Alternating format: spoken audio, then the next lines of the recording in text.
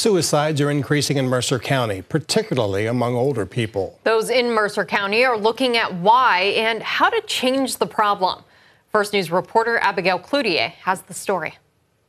Everybody matters. That's Mercer County Coroner John Libonati's message to those who are struggling. He wants to raise awareness for depression and suicide in the county. There were 20 suicides in 2023, more than double of 2022 when there were nine. And it's the highest suicide rate since 2019 when there were 21. More than half the suicides last year were senior citizens. Libinati says isolation and disconnect are a big reason why. We don't really get together and have that mutual respect and connect. Not only don't we don't we connect, but we don't engage um, and and let people know that they're valued. Libonati says he sees people struggle with feelings of low self worth and turn to drugs, alcohol, and suicide.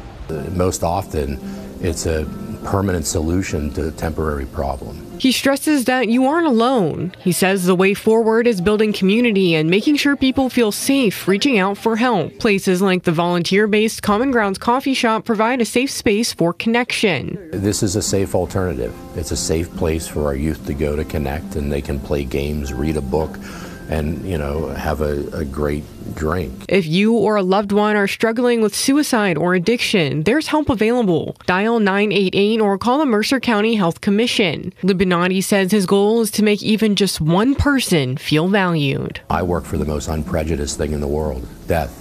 It takes everybody. And it's horrifying to me to see a life cut short you know, that has so much meaning and that can help and serve so many others. In Mercer, Abigail Cloutier, WKBN 27 First News.